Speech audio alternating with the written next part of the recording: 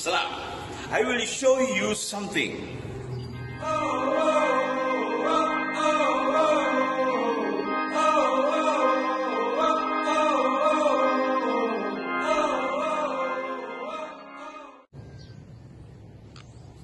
Here, I witness flooding, okay, in that area.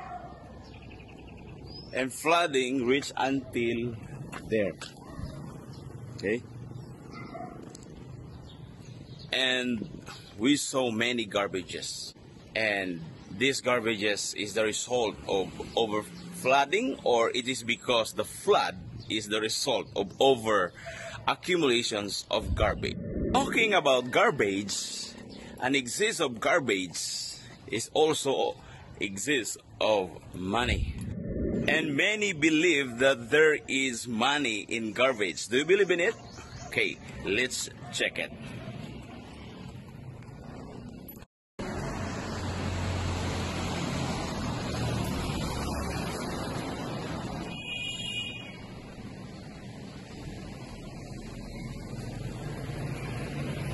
So may pera talaga sa basura. There is money in this garbage.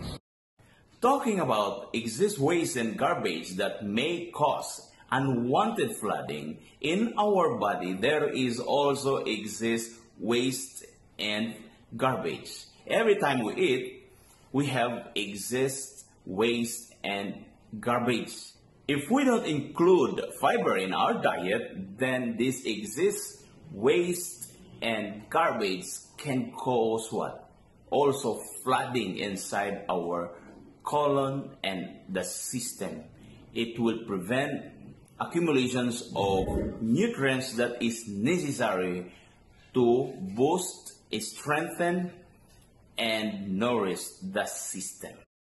Now, can we turn excess waste and garbage into money?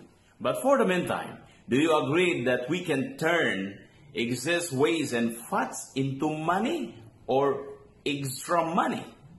If you believe that we can turn excess fats waste into money, then what do you feel about it?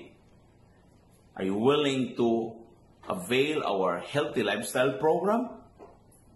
Message us today. In my 12 years of experience, I saw people crying and in pain and in also in suffering because of this problem.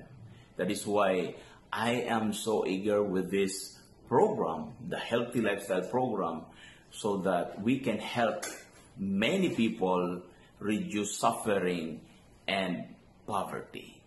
Come and decide now and avail and complete and support your diet and lifestyle. Alhamdulillah.